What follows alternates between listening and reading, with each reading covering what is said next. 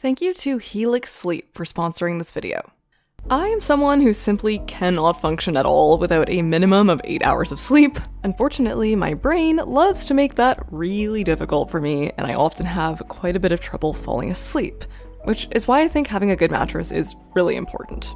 Helix Sleep makes premium mattresses and bedding that are customized to fit your needs and conveniently shipped right to your door. Everybody's different, and Helix knows that, so they made the sleep quiz to match your unique body type and sleep preferences to make the perfect mattress for you. They have something for everyone's unique taste, and if you sleep with a partner, you can even take the sleep quiz together to find something that's a perfect compromise for both of you. I am personally a stomach sleeper. I prefer a medium firm mattress, and, uh, okay, exposing myself, I sleep alone.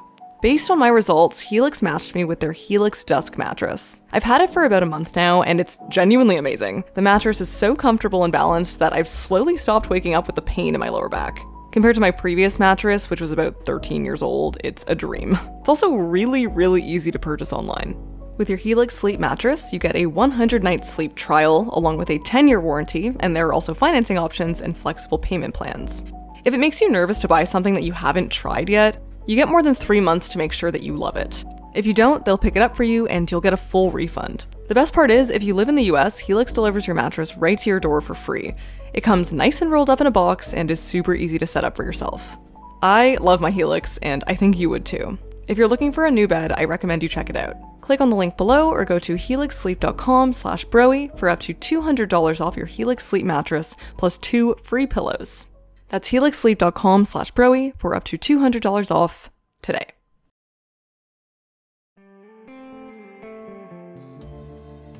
In the summer before I went off to university, my mom and I decided to go on a trip together, just the two of us. While it was fun for the most part, being alone together in a different country amplified a lot of the underlying tensions in our relationship. On the final night, we got into a blowout fight, screaming at each other in our hotel room. We had fights now and again in the past, but this one felt different. I said some hurtful things, and my mom told me that there would be no reason for us to speak to one another after I left for school. Words that sliced deeper than I could have expected. We made up a short while later, our tensions, of course, going unresolved. But it didn't matter, because our love for each other took precedence, and hopefully always will. She and my dad drove me the six hours to school. She helped me put up photographs on my dorm room wall, and we held each other crying at dinner, my dad looking perplexed from across the table. And when she left, I felt a great sense of loss. Ever since, our relationship, however volatile it may sometimes be, has remained strong. When I went to see Ladybird in theaters back in 2017, I felt myself sobbing as the credits rolled. My friends and I clutched each other, all feeling the weight it brought down on our different relationships to our mothers. Ladybird and I share many similarities. We both had aspirations of going away for university, we both like the performing arts, we're both lanky, and our families occupy a space in an ever dwindling middle class. But in other ways, we differ. I grew up in a big city in Canada, much more bustling than Sacramento. While I do have a bit of an individuality complex, I am much less headstrong than Ladybird. Unlike her, my parents made a serious effort to shelter me from their financial anxieties. My mother, a first generation immigrant who has always been drawn to the fun affordances that Western life has to offer, pushed me to go away to school, to enjoy the opportunities that she herself was not granted, Tuitions in Canada are much lower than the States, so it was within reason for me to take out loans that I could eventually pay back. But the ties I shared with Ladybird allowed me to enjoy her, to feel overwhelming melancholy when the film came to an end, as Ladybird stands on the street, feeling just as lost and alone as I did on my first day of school. She looks off into the space on screen where her mother used to be, their relationship not wholly repaired, and the image fades to black. This was the moment I began to cry. Ladybird was a bit of a phenomenon when it came out. A directorial debut for indie darling Greta Gerwig, the film was lauded as a touchstone of feminist cinema. Critics heralded it as one of the best teen comedies of all time, a unique game changer for the coming of age genre. It also broke boundaries with the Best Picture nod from the Oscars, a title often exclusive to self serious, prestigious art films and war movies. But of course, waves of popularity often have criticism in their wake. Soon, many people, particularly in the online realm, chastised the film for being overrated. Some felt that it wasn't as revolutionary as critics made it out to be. Many pointed to the fact that the film, which takes place in a city as diverse as Sacramento, was overwhelmingly white. Many found Ladybird to be privileged and selfish, especially when juxtaposed to her adopted brother Miguel. People derided it as a whitewashed version of Patricia Cardoso's 2002 film Real Women Have Curves. Why was Ladybird getting so much praise, such prestige and success, when similar coming of age films with BIPOC leads disappear into history? Gerwig's name slowly became a bit synonymous with white feminism in online circles, especially when her second feature, Little Women, came out two years later in 2019 an adaptation of Louisa May Alcott's beloved 1868 novel about four very different sisters growing up in Civil War era Massachusetts with their progressive mother, Gerwig used metatext to draw out feminist elements that were more implicit to Alcott's story. This included commenting on the different paths womanhood had to offer back in the 19th century by shedding a more empathetic light on the much maligned character of Amy, and changing the ending to feature Jo's editor asking her to shoehorn a love story into the end of the novel, something Alcott's editor asked her to do in real life. While the film again received a lot of praise, people were quick to notice Gerwig's tendency to write feminism with a very white gaze. If she could invoke more contemporary twists into the story, why could she not feature more black characters, or portray the complicit North in a less altruistic light? As Anita Call states for Varsity, Nonetheless, in her adaptation, Gerwig is blatantly aware of the intersectional challenges presented to her source material, and tries to involve fragments of critical race theory into a few lines of dialogue, but it appears more as a disingenuous display of virtue signaling than a sincere attempt to include and to educate. It's now a popular opinion amongst Gerwig dissenters that her cinematic oeuvre is a white one, one that we are only familiar with, that we are discussing so extensively, because her films are about thin white women. As Patricia White argues, Gerwig, whose authorial persona is informed by her signature film roles as an awkward, half grown woman, attempts to wrest the iconic figure of white girlhood out of the mirror. Lady Bird arose from this legacy, this entitlement. Does showing someone who fights for her place, when she is already at the center of a culture's value system, crowd out other less charmed accounts of female self realization? I espoused a similar argument in a video I made about Sofia Coppola a couple years ago, which is now the second most watched video on my channel.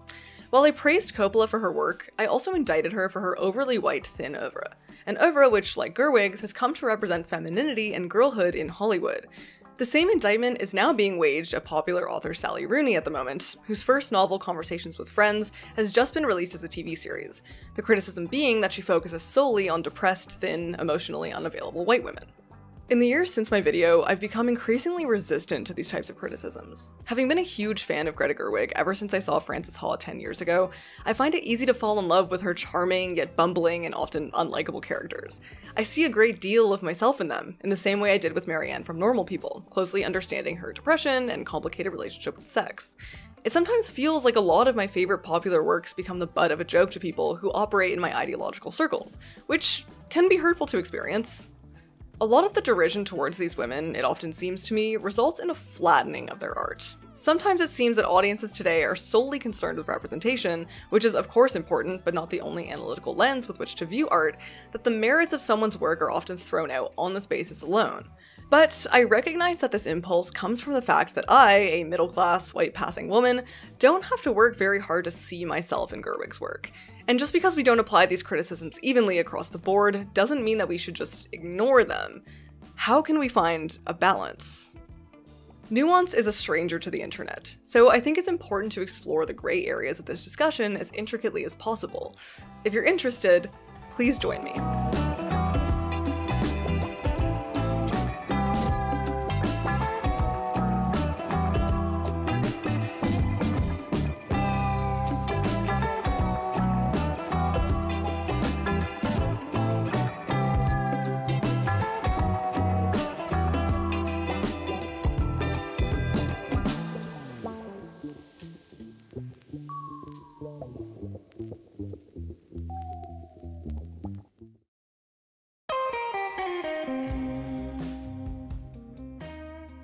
Back in the 70s, feminist film scholarship was really concerned with the question of what women experience when they watch a movie. As you can probably guess, until then, the interests, whims, and pleasures of male spectators took precedent. Men could watch a movie and see every side of themselves cowboys, spies, adventurers, brooding intellectuals, spirited Casanovas. But what were women seeing? If you're a semi regular watcher of this channel, I'm sure you're well acquainted by now with Laura Mulvey and her theory of the male gaze, the process through which male spectators derive pleasure from the woman's body on screen, and female spectators are alienated from her. But you might be less familiar with Mary Ann Doane, who took the concept of the female spectator even further. In her essay Film and the Masquerade, theorizing the female spectator, Doane argues that the problem lies in language, a man can successfully define himself in the realm of language, where since a woman is taught the language of men, she can't separate her own femininity from this language. In Doane's eyes, it's better for a spectator to have a degree of distance from the characters they watch on screen.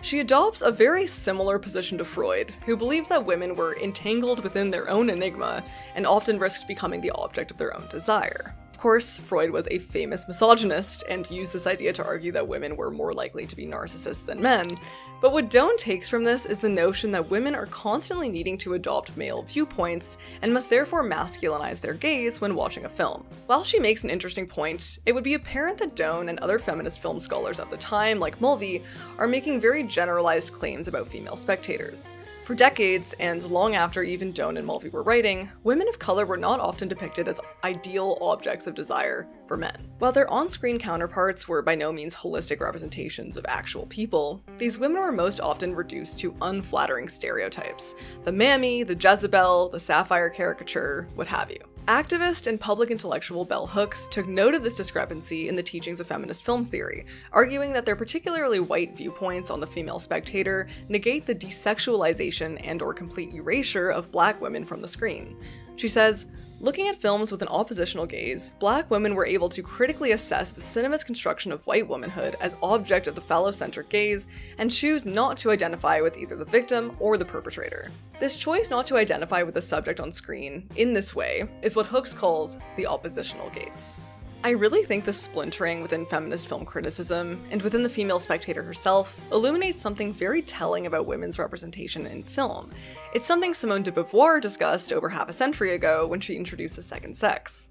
All agree in recognizing the fact that females exist in the human species. Today, as always, they make up about one half of humanity. And yet we are told that femininity is in danger. We are exhorted to be women, remain women, become women. It would appear then that every female human being is not necessarily a woman to be so considered she must share in that mysterious and threatened reality known as femininity. Is this attribute something secreted by the ovaries, or is it a platonic essence, a product of the philosophic imagination? Is a rustling petticoat enough to bring it down to earth? Although some women try zealously to incarnate this essence, it is hardly patentable. What Beauvoir is getting at here is that women is such a diverse classification, such a many tentacled thing, that people who are women do not share any community, no distinct attributes or culture, only the arbitrary title, which, in the case of cis women, is assigned to them at birth. Due to this, there is no universal experience of girlhood or womanhood. So when we see a film branded as belonging to a women's genre, its protagonist framed as the every woman, we get a little mad. This woman is not me, so why does she claim to be? But can we still enjoy those films? Can we ignore the fractured version of ourselves that's being sold to us? Can female spectators who do not fit into the narrow confines that the male dominated film industry have drafted for them ever truly identify with this art? Or better yet, should they?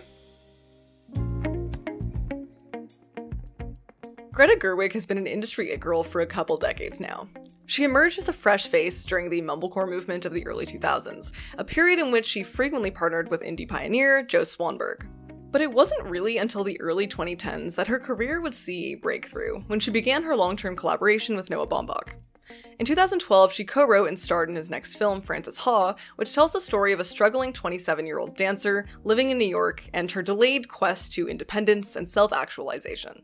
Frances Ha is hands down my favorite Gerwig film, mainly because Gerwig has a very lived in, idiosyncratic, and clumsy persona on screen that makes you just fall in love with her characters. Everything Frances does feels so natural to her being that you begin to suspect Gerwig is just playing herself. Eh. But what was most striking to me when I first watched it was that, despite her charm, Frances is not a universally liked person. While she almost always is well intentioned, her antics and goofy disposition often turn people away, Having grown up being described as annoying on more than one occasion, and often felt the need to rein myself in at times, this aspect of Frances resonated with me deeply, unfortunately. She isn't messy in a glamorous, self effacing way. She's just messy. And for that, she makes me feel better about myself in my lower moments. I turn to her when I need to tell myself that it'll be okay. But of course, Frances Ha isn't Gerwig's alone. It wasn't until 2017 that we would get her full directorial feature, Ladybird, and in my mind, she didn't disappoint. This is what I love about Ladybird. I love its detail. Gerwig breathes such idiosyncrasy into every character. Every one of them feels lived in, like they've enjoyed a myriad of experiences that we aren't privy to, but can sense from them. I love its authenticity. The portrayal of high school feels realistic in the way she depicts social groups. While Jenna and her friends have an air of coolness to them, there's no distinct mean girls or jocks or nerds. The social hierarchy is subtle and overlapping. While Ladybird is not cool per se, she can flow between groups with ease. I love how much it makes me laugh. The film is hilarious, but it never feels like it's trying to sell us a joke. The humor comes from characters and circumstances rather than punchlines. Same as moments of melancholy or sadness, they creep up on you unexpectedly, just as they do in life. Yeah, but also those East Coast liberal arts schools like Yale, but not Yale because I probably couldn't get in. you definitely couldn't get in. What's most wonderful about this is that Gerwig taps into the beauty of both joy and sadness. I love its sentimentality. Ladybird is nostalgic. Taking place at the turn of the millennium, Gerwig looks back at this point in her past with the same tenderness that I look back at my late high school years. For some reason, this period is more vivid to me than the past five years combined. She's capturing milestones from a very teenage perspective. Every emotion is heightened and even absurd at times, but that's exactly how it feels to be 17. The visuals are beautiful. Nothing is too stylized. Everything is understated, but it feels like it could belong in a scrapbook. Most of all, I love Ladybird. For the same reason I loved Frances and Frances Ha, I love Ladybird because Greta Gerwig allows her to be unlikable. She embodies many of the traits that I would rather ignore in myself. She can be annoying and pretentious, she can be bullheaded, rude, and insensitive. In one moment that really rubbed people the wrong way, Ladybird accuses her brother Miguel of getting into university due to affirmative action. Many said that this was Gerwig condoning racism, but to me, this is a hallmark of great writing.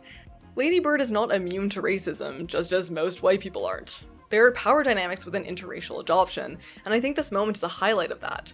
Ladybird is not in the right here at all. We are not supposed to side with her. Her brother is clearly a kind-hearted, smart person. We can see that in the way he treats his partner and his parents. What the moment reveals is an inherent flaw in Ladybird's personality. She is self-absorbed, impulsive, and insecure. Her treatment towards Miguel in this moment is a reflection of that.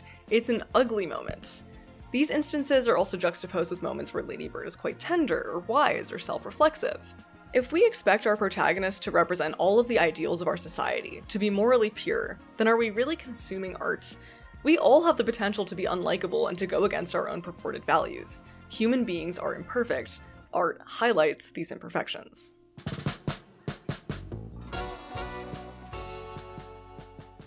In one particularly obtuse article about Ladybird for Quartz, David Kaufman admonishes the film for having to work much less hard to succeed than a majority POC film like, say, Moonlight. Yes, comparing teen comedy Ladybird to haunting drama Moonlight, he suggests that Ladybird is simply objectively less good. Folks might retort that Lady Bird does reference the class, gender, and sexuality dynamics of Moonlight, and indeed it does. But other than Laurie Metcalf's searing performance as Lady Bird's lovingly bitter mother, they're just too subtly realized to make much of an impact. Nothing about Lady Bird, not its script, nor its actors, or its director, feel like it's worked hard enough to deserve the near universal approval it has garnered. Meanwhile, much like Black America itself, Moonlight had to work twice as hard for half the praise. Regardless of the fact that the two films competed in two different Oscar years, or that they are completely different genres, or that Moonlight won its Oscar run and Lady Bird lost to The Shape of Water, he argues that films like Lady Bird have an unfair advantage. Don't mistake me. I think Moonlight is an utter masterpiece. It's actually one of my favorite films of all time. It has the most breathtaking cinematography, score, and acting performances of the 21st century. But to compare it to Lady Bird is comparing apples and oranges. It's criticisms like this I think stomp on the merits of Gerwig's filmmaking. The criticism of Lady Bird, which I think holds the most weight, is that it's in many ways identical to Real Women Have Curves, a 2002 film starring America Ferrera. Real Women Have Curves is about a Mexican American girl named Anna, who has just graduated from high school with stellar grades and harbors dreams of attending an Ivy League university. These dreams are at odds with the wishes of her strict mother Carmen, who wants Anna to stay at home and work in a garment factory to help support the family. I won't argue, the two films are structurally very similar. Both are coming of age stories about teenage aspiration, mother daughter relationships, college applications, and young romance. Both girls attend high schools outside of their financial bracket and go to university in New York, failing to reconcile with their mothers. But structural similarities aside, Ladybird and Real Women are very different films with very different themes. Real Women is an exploration of the immigrant experience in America and the contrasting ideologies between second generation children and their first generation parents. It's about Western beauty standards and the long, arduous journey towards self love as a racialized person who doesn't fit them. The film is a commentary on women's labor, casting a critical eye on the exploitation of Mexican garment workers in the fashion industry, acknowledging the brute skill that it takes to work these jobs. Anna already possesses natural academic talents and has no problem being accepted to prestigious schools. Her only battle is with her mother, the double life America has forced upon her, and herself. Ladybird is about lost dreams and teenage idealism. It's about understanding mediocrity and embracing a loss of innocence. It's about finding beauty in the things we used to reject. Anna also finds beauty and joy in the parts of her community that she used to look down upon, but ultimately she's right about the poor conditions they're working in. While Anna is headstrong, most of the change that happens in real women needs to come from her mother. On the other hand, it's mostly up to Ladybird, who is often wrong about things, to soften and grow. At the end of the film, Anna and her mother never make up, a harsh reality for the harsh conditions she and her family find themselves in. Ladybird, on the other hand, offers a glimmer of hope, leaving her mother a voice message in the final scene. If we're to read the structural elements of the two films and pair them with the thematic, I think it's fair to say that Ladybird may be derivative of Real Women, but perhaps a stretch to accuse it of total plagiarism, as many people did. As Monica Castillo writes, troubled mother daughter relationships are not an uncommon theme in female coming of age stories. In movies, defying parents has long been a way of asserting one's independence from them, no matter if it's in the headstrong girl's interest.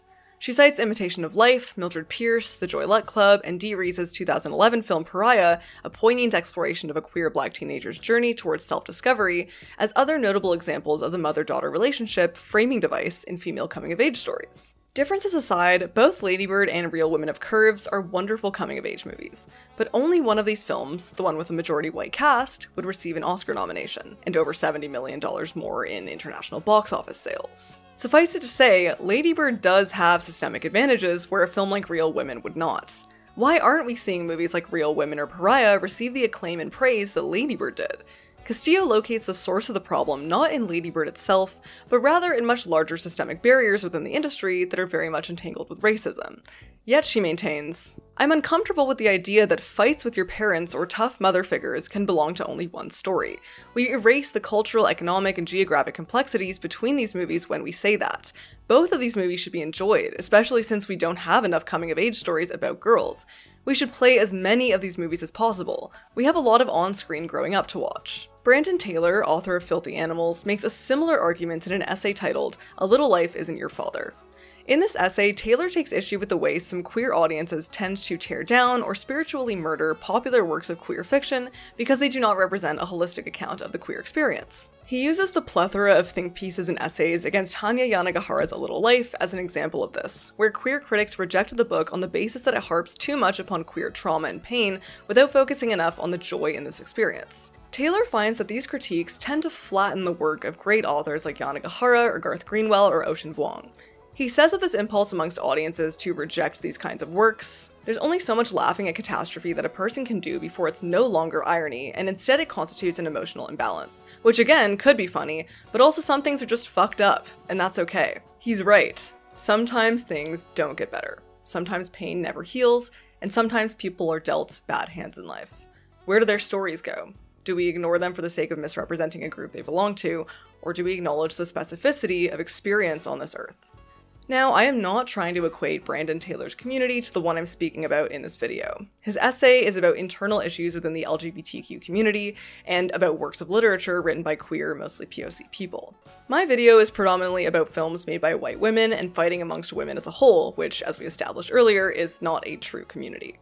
What was relevant in Taylor's words was the notion that we do not need to take the most popular works depicting a certain community as gospel.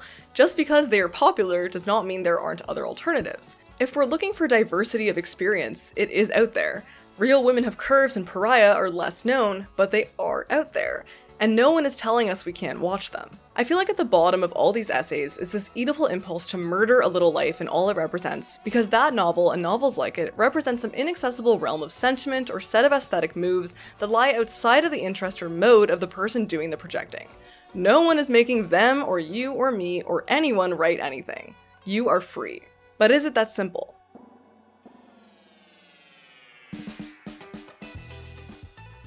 If the works we're seeing the most are the ones that feature mostly white, cis, straight girlies, is it not fair to ask more of them? If you have an advantage over others, should there not be an onus to go the extra mile? We talk about representation a lot, so surely it's important. To question representation is to question the role of art in our society. If we're to take Ladybird as semi autobiographical and assume that Gerwig did not grow up around many people of color, or maybe just went to a very white high school in a white part of Sacramento, we would be arguing that art is a mirror of our society. But is that the case? Scholar Silvia Bovenschen thinks otherwise. Art exists so that one may recover the sensation of life. It exists to make one feel things, to make the stone stony. The purpose of art is to impart the sensation of things as they are perceived and not as they are known. Bovenschen is arguing here that art is created to convey a renewed or heightened sense of reality rather than mirror it. Her take is quite similar to the teachings of cultural studies master Stuart Hall, who divided the concept of representation of art into three readings reflective, intentional, and constructionist. The first is a question of whether art reflects a meaning which is already out there in reality. The second is whether it expresses what the creator intended it to express, and the third is whether meaning is constructed through how that art is conveyed. Hall, like Bovenschen, favors a constructionist approach. The way that art represents our world will shape how a consumer reads it. Representation constructs meaning.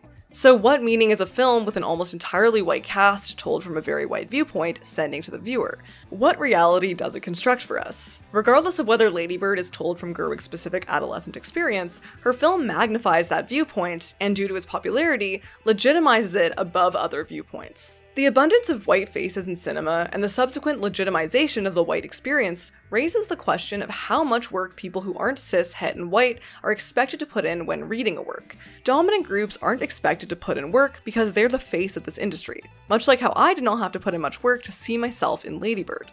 It's the reason films like Real Women and Pariah aren't breaking through. Studio execs don't need to cater to marginal audiences because they think the dominant audience is less interested in adjusting their perspective. So maybe a constructionist would say that the power lies with creators to construct a world that challenges our own. A constructionist like Hall, who sees great value in how diversity can enrich and challenge our current world, might say so. I emphasize diversity rather than fragmentation. Many elements, none of them wholly integrated, but not just shards, not just splinterings. The act of splintering doesn't suggest to me that anything emerges from it. Out of diversity, however, comes new culture, new cultural forms. Out of cultural crossovers comes new music, not emptiness. This was something that came up a lot in the criticisms of the Little Women which some people viewed as a failure on Gerwig's part to produce these new cultural forms. As Caitlin Flanagan states in The Atlantic, Little Women is the whitest movie I've seen since The Swiss Family Robinson. It has the same attitude towards the past that is at its core of the American girl business. History is not a nightmare to wake up from. It's a beautiful wonderland where there is always some girl whose life circumstances allow her to have a jolly and guilt free time. Okay, if you're a lover of Gerwig, one knee jerk reaction to these types of critiques is to argue that Little Women is a historical novel which takes place in the north of Massachusetts. It would not be realistic to feature BIPOC where they, and I say this with great irony, did not exist at the time. So it is unreasonable for us to expect Gerwig to change such an iconic story to fit contemporary societal values. But I would like to posit that that's not necessarily true or fair. Little Women could have incorporated more BIPOC actors and characters in a way that would not betray the core story. There were prominent black women living in Massachusetts at the time whose voices could have been amplified by Gerwig.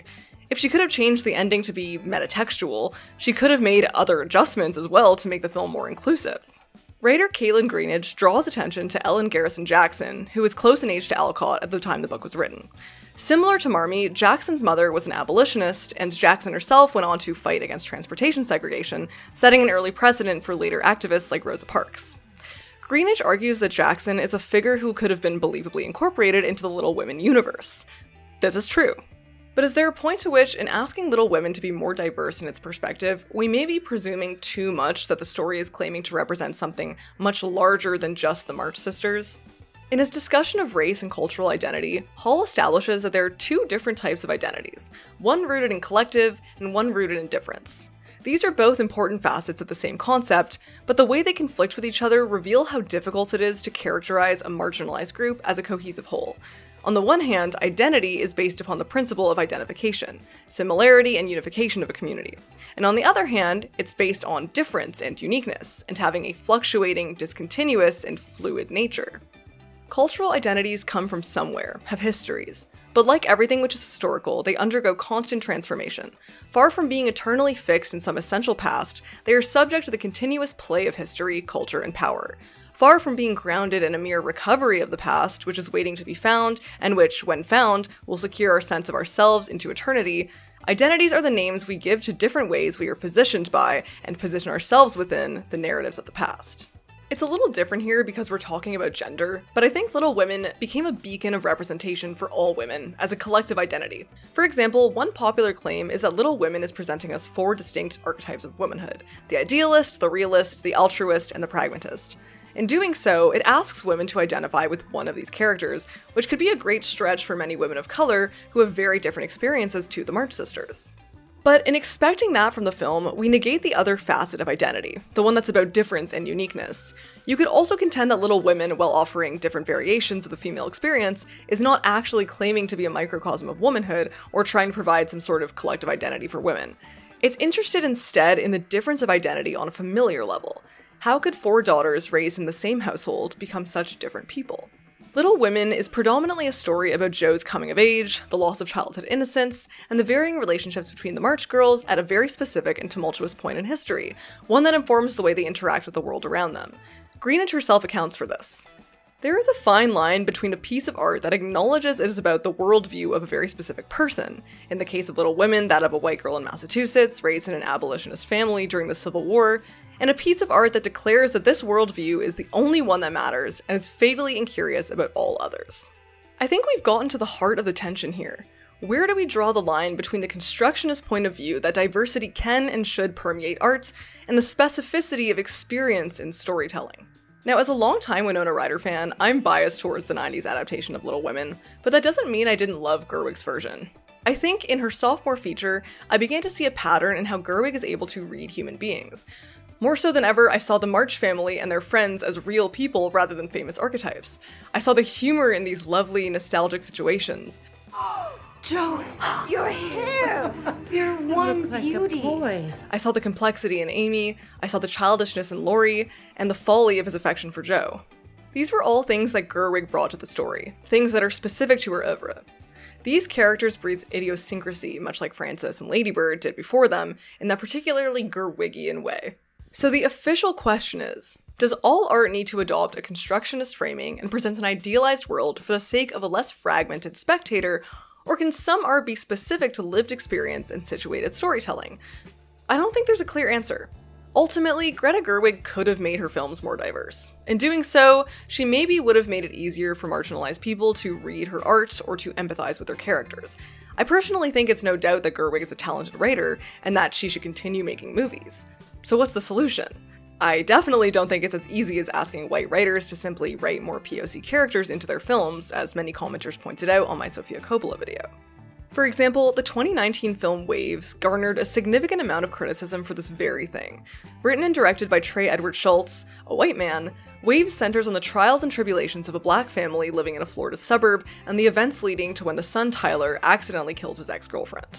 Whatever good intentions Shults may have had, he does seem to rely on many popular tropes of black male protagonists star athletes, overbearing fathers, unexpected pregnancies, hypermasculinity. It's not a doubt that Waves is a beautifully shot film, but it would honestly read better as a music video than a feature film since the writing doesn't have enough weight to support the visuals. Shults attempts naturalism in the very few instances of dialogue we're given, but it ends up leaning heavily on tired platitudes. For example, I said it before, I'll say it again. The world don't give a shit about you or me.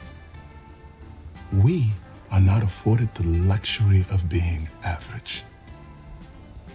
Gotta work 10 times as hard just to get anywhere.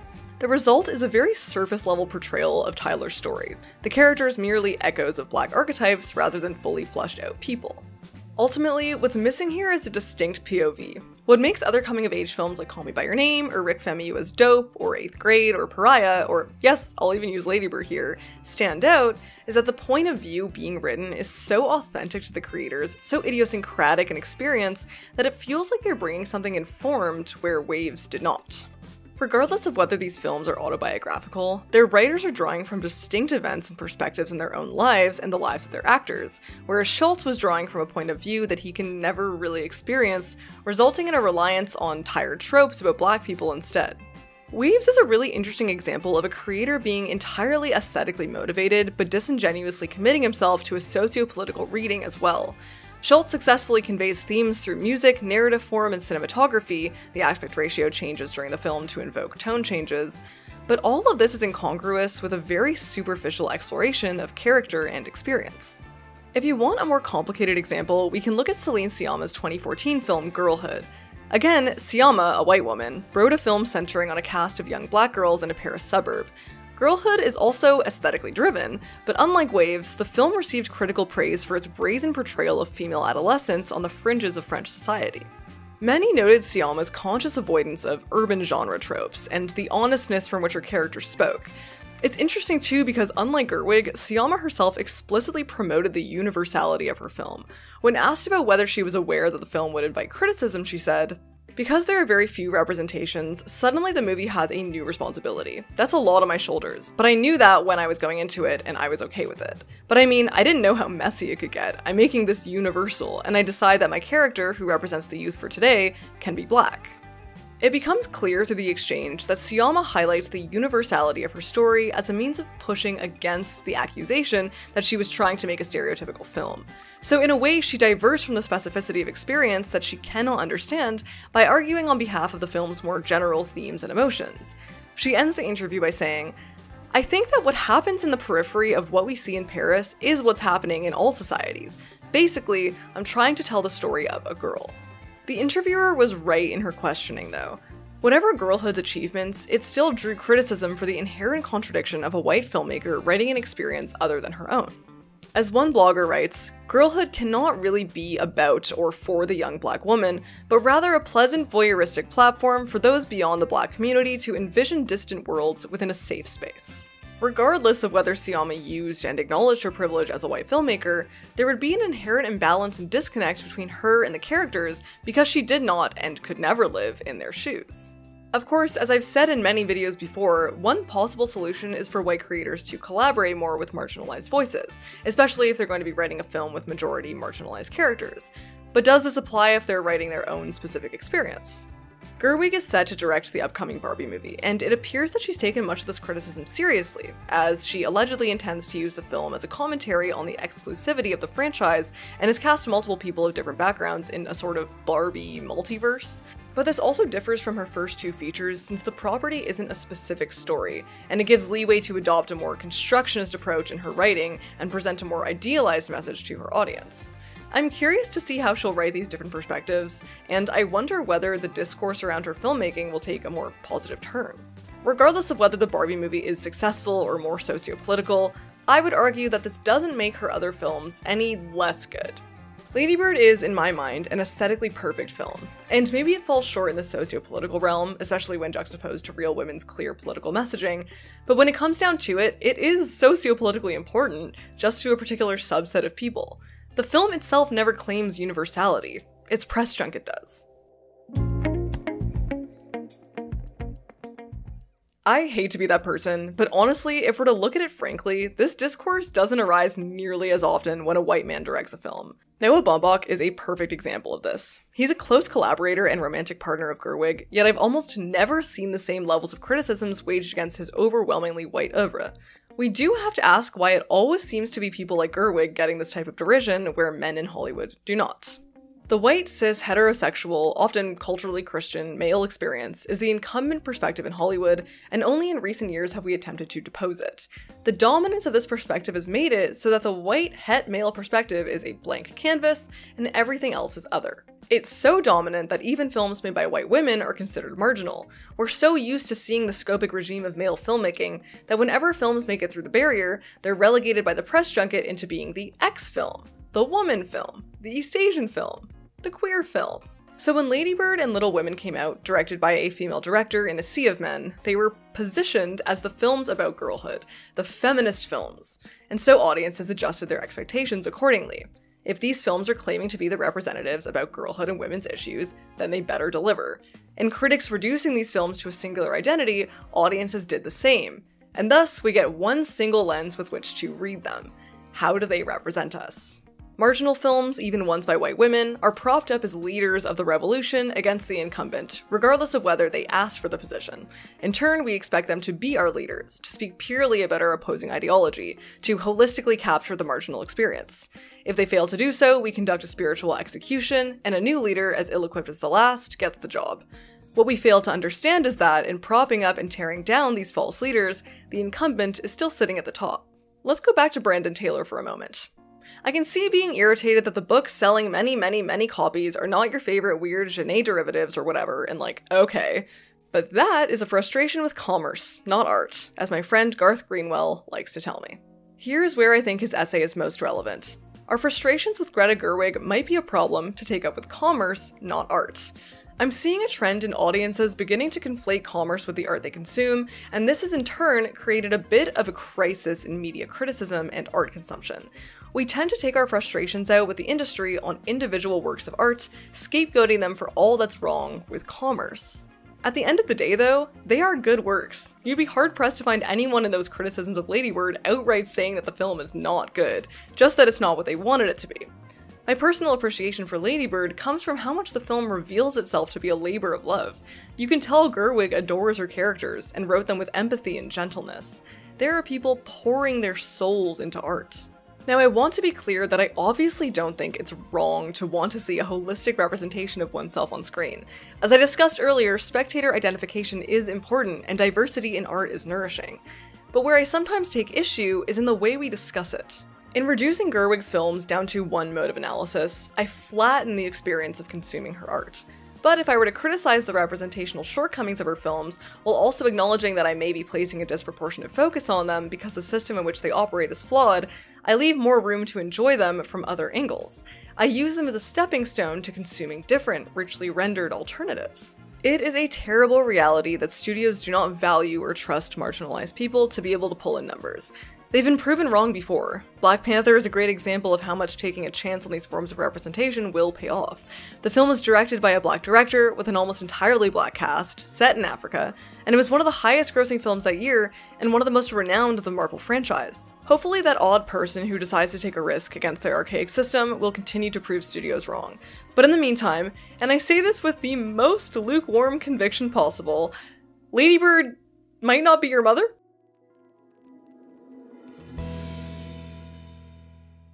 I've mentioned Greta Gerwig, Sofia Coppola, and Sally Rooney, and now I'm going to top the essay off with the sad white girl of all sad white girls, Miss Joan Didion. She has a quote for everything, and now is no exception. Didion famously once said this We tell ourselves stories in order to live. What she means here is that human beings cope with the nothingness of life by constructing narratives out of it. In doing so, we reach into the void and find catharsis. Stories help us discover meaning in futility.